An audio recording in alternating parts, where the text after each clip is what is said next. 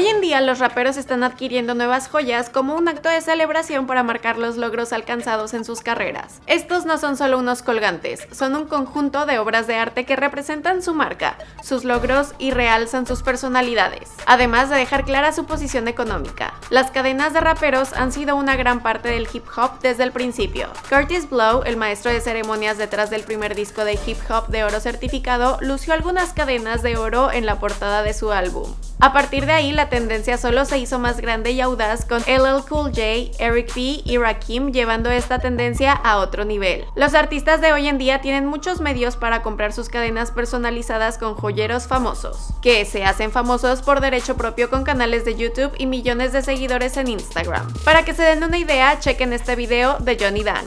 What do you do, man? It's Johnny Dang, aka King of Bling. Subscribe, like, and comment on my YouTube channel. Johnny definitivamente es uno de los joyeros más famosos actualmente y muchos raperos acuden a él para que les personalice sus cadenas. Últimamente he hecho varias listas de estas con sus artistas favoritos y me he dado cuenta que a la mayoría de estos les han robado o han perdido una o dos piezas por lo que comienza a tener sentido que constantemente estén comprando nuevas. Aunque también hay algunos raperos a los que solo les gusta presumir un poco más de lo normal. obviously came in the game with the moniker of two chains and have been caught wearing more than two chains on several occasions. ¿Qué onda? Mi nombre es Ailed y este es otro video de Top 5 cadenas de raperos parte 3. Yo sé que les gustan mucho estas listas y es por eso que las seguimos haciendo. Espero que este video también les guste. Si es así ya saben que me lo hacen saber con sus likes y como siempre síganme diciendo en la parte de los comentarios de quién más quieren que hable en los próximos videos. Ahora sí, empecemos con este top 5. En el lugar número 5 tenemos a YNW Melly. Una de sus últimas cadenas siento que definitivamente merecía un lugar en esta lista. La pieza personalizada fue creada por Johnny Dang y le costó 100 mil dólares solo el colgante giratorio World Peace. So this special piece in this one, this is two in one. I'm talking about two in one. The bell, you see the bell, this one, If I flip it back, it will be one piece. You only see this one. Johnny Dang es ciertamente el rey del bling. La cadena y el colgante equivalen a casi un kilo de oro en un recuento total de casi 7000 diamantes BS. Aunque el mundo de YNW Melly es bastante pequeño actualmente ya que se reduce a tres paredes y unas barras de metal, quiso dejar claro que en un punto estuvo en la cima del mundo con este colgante giratorio que parece que ahora que está en la cárcel volvió a las manos de Johnny Dang, a quien se ha visto usándolo en una fiesta. Melly tiene algunas otras piezas esperándolo a que salga de la cárcel. Tiene una pieza llamativa de YNW que también le hizo Johnny Dang, la cual presumió en una publicación de Instagram en donde declaró 30 mil dólares en un enlace cubano. Good Dope estoy distribuyendo No Cap. También tiene su pieza llamada Cash Motivated que se puede traducir a motivado por el efectivo y algunas piezas que son unas manos de Fátima o Hamzas. Pero al parecer uno de estas fue robada por un tipo en un Walmart. We can't fight in Walmart. This like a little hoe. Este hombre puede andar muy envalentonado en el video, pero se me hace que devolvió la cadena cuando escuchó por qué encerraron a Melly. Y aunque sigue siendo muy joven y no estoy 100% segura de que tenga una hija, definitivamente hay una niña en su vida a quien le compró un collar de oro y diamantes. This is my daughter. This is my daughter. En el lugar número 4 tenemos a Gona. Echamos un vistazo a Gona que también se hizo con una colección bastante impresionante en un corto periodo de tiempo. Para Gona, su joyero de confianza es el famoso Eliant, quien armó su pieza más reconocida, la cual es de su nombre con algunas serpientes en la cadena, probablemente como un homenaje a haber firmado con el sello discográfico YSL de John Thug. La pieza entera le costó 250 mil dólares. Y cuando la subió a su Instagram, su caption decía, probablemente tendré a la más mala del juego con mi cadena. A sin duda le encanta mostrar esta pieza, aunque cuando fue a GQ a hablar de su joyería la olvidó. Yo me pregunto cómo olvidas algo que has estado presumiendo hasta cansarte. No lo entiendo. I didn't even bring it today. It's so crazy. You gotta pull it up, pull a picture of something, let the people see it. It's my name. I love it. It's like my trophy. En el lugar número 3 tenemos a Rich the Kid. Amigos, Rich the Kid tiene bastantes piezas, así es que no estoy completamente segura de por dónde empezar. Su compra más reciente fue de esta cadena giratoria de globo de 425 mil dólares de Eliant. La pieza completa presenta 250 quilates de diamantes BS. También hay una gruesa cadena de eslabones cubanos llena de diamantes para acompañar el dije. Por cierto, ahí podemos leer The World is Yours Too.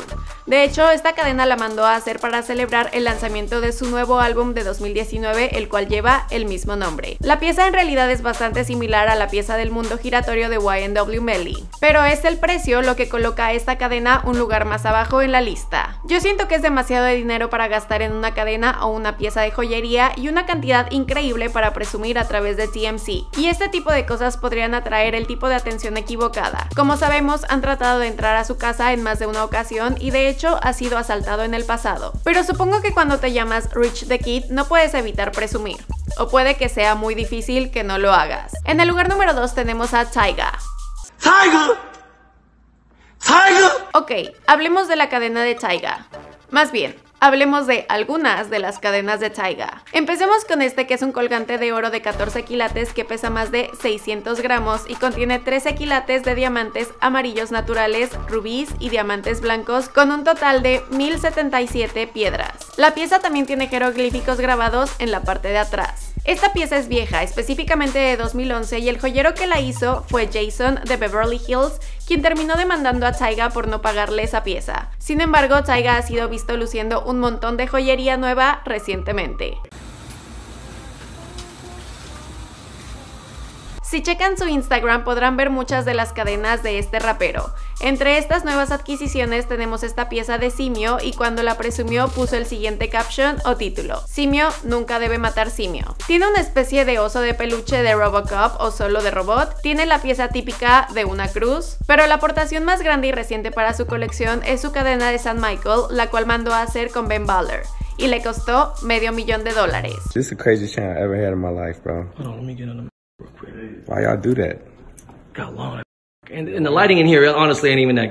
El caption en el post de Ben Baller dice, coloqué diamantes de claridad BBS con forma de pera en solitario en el halo de San Miguel. Agregué baguettes a las plumas y las alas e incluso diamantes de baguettes en su espada. Incluso puse diamantes a los lados de su enlace cubano personalizado. Hice los enlaces con dos diamantes de diferentes tamaños, con los diamantes grandes que tienen un borde de pavé. El diablo que está pisando representa a Satanás, también conocido como los enemigos, que han sido derrotados y también especifica que Taiga tuvo el mejor regreso de 2018. Su pieza y cadena costarían 400 mil dólares, pero Taiga también compró un montón de piezas a juego para su crew, amigos, staff, los cuales le costaron alrededor de otros 100 mil dólares. Finalmente en el puesto número uno tenemos a NBA Youngboy. Las piezas de NBA Youngboy puede que no sean las más impresionantes en el juego del hip hop y rap, pero él también tiene una larga lista de cadenas que le han robado. Así es que supongo que para él sí es un gran logro conservar las cadenas que todavía tiene.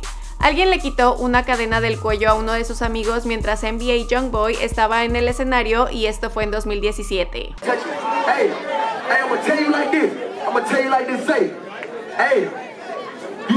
touch it. Hey? Hey, man, don't touch me. Don't touch me. Luego, el año siguiente, un tipo literalmente trató de saltar y arrebatarle la cadena a mitad de un concierto. Actualmente se ha visto al hombre luciendo una serie de piezas. Primero echaremos un vistazo a su Jumpman de la NBA personalizada, la cual tiene una pistola y fue fabricada por la gente de Shine. Decidí visitar el sitio de Shine Jewelers para ver de qué estaba hecha esta cadena. El colgante personalizado de dos tonos de NBA Youngboy consiste en oro rosa y blanco con diamantes redondos y blancos con una claridad de SL1 y BS2. Esta no es la única pieza que ha mandado a hacer con Shine, también está su colgante personalizado Rose Gold Diamond NBA Youngboy 38 Baby, hecho con oro rosa, oro blanco con diamantes redondos blancos en claridad SL1 y BS2. No tengo idea de lo que cuestan estas piezas, pero todo parece indicar que con estos joyeros se puede mandar a hacer una cadena a pagos. En particular, se pueden hacer pagos que van desde los 350 dólares al mes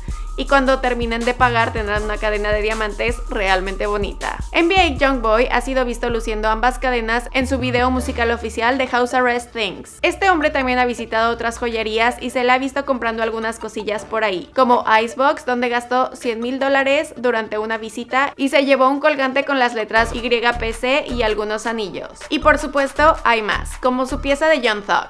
Pero justo hablé de esa cadena en el primer video de top 5 de cadenas de raperos que hice en el canal hace más de un año atrás. Ese video tiene más de un millón de visitas y creo que yo hablaba demasiado rápido. Y sacarían la forma del dije de uno de los videos musicales de Young Thug. Esta pieza se estima que cuesta 150 mil dólares y la mandó a hacer en Shine Jewelers de Filadelfia. Y bueno, si ustedes me siguen pidiendo estos videos, yo los seguiré haciendo. Yo sé que muchas veces no hablo de todas las cadenas que a ustedes les gustaría que mencionara y a pesar de que yo ya tenga una lista con los raperos que están estrenando joyería nueva y estoy constantemente checando sus Instagrams y los Instagrams de los joyeros famosos, tal vez alguna que otra cadena se me va, así es que si ustedes encuentran algún dije o cadena sorprendente, excéntrica y que valga la pena mencionar en estos top 5, díganmelo en la parte de los comentarios, etiquétenme, mándenme foto, menciónenme o algo en Instagram para que yo tampoco me la pierda. De hecho, hace poco Pablo Sagas 1234 me mencionó en la cadena nueva de Osuna, de la cual hablaré en el top 5 de cadenas de artistas latinos del género urbano. Así es que sí uso sus recomendaciones. Así es que ustedes síganme diciendo de las cadenas más interesantes. En fin, eso es todo lo que tengo para ustedes en este video de top 5 cadenas de raperos parte 3.